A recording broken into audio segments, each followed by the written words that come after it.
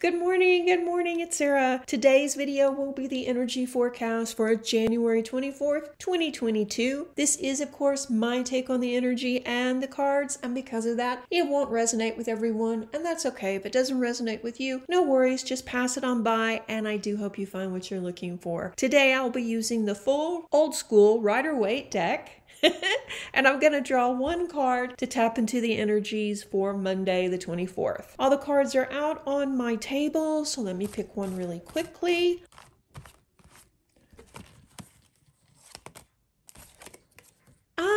Nice, nice. The Six of Pentacles. Pentacles always cover money and wealth. So we're off to a good start, aren't we? And oops, I forgot to turn off my fountain. So that water dripping sound in the background is what you're hearing is my fountain. Let me turn it off now. Be right back. Okay, I was telling you about all your good fortune for the day, wasn't I?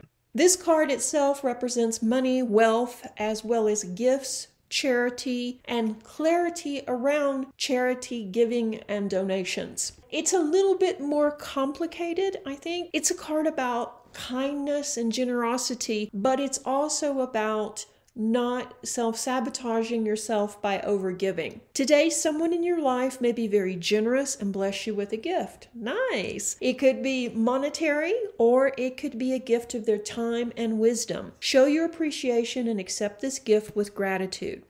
And if you're doing well, this is also a great day for you to donate to charities and help others. But as I said, there's a note of caution with this. So while this card does represent charity, it's done with fairness and clarity so that you don't end up overgiving or giving perhaps to a shady organization. See the scales? This isn't the day to self sabotage by giving away your rent money or wasting your most valuable asset, which is, of course, your time. For instance, today isn't a day to give your unsolicited time or resources to someone that will either ignore you or waste the resources. Find someone or some organization that will appreciate and respect the gift. So rather than say giving to the National Cancer Society, instead perhaps help someone who is actually struggling with cancer. For instance, run an errand for them, take them to a doctor's appointment, or find some way of assisting them personally. And for my viewers who aren't in America, don't even get me started about how cancer patients suffer in America. I am climbing off my soap box now and getting back to the card.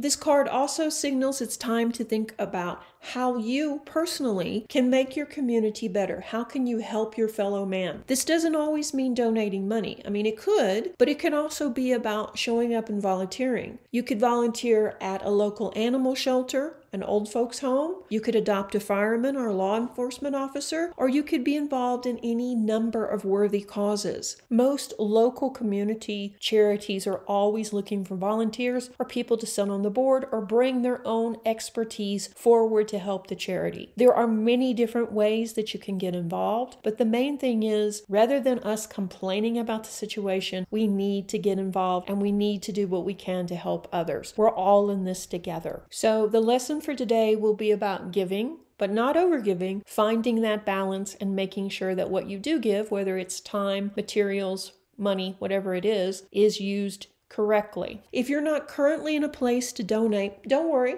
Don't worry at all. This card signals that will be changing soon. Your money situation will improve shortly and you can expect more funds to show up very soon. So, overall, a very good day for you. And also, by thinking about your community, you'll be tapping into the energy of Aquarius season, which will give it an extra push. If you haven't already watched that video, I'll link it up here. For more info on this dynamic and globally minded sign, yes, we're still in Mercury retrograde, but we can still help others. And even if it's just cleaning out your closet and donating good, usable clothes to a shelter, you can make a difference. And before I end this video, I wanted to give you an update that I'm just about done with the Chinese astrology forecast for February or the first month of the Tiger year, and I'm about to dive back into Western astrology. So if you haven't already, be sure and subscribe and hit that bell so you'll be notified of all the new videos. Thank you so much for watching and being a part of the Serenity family. Stay tuned for the next video. Reiki blessings. Bye bye.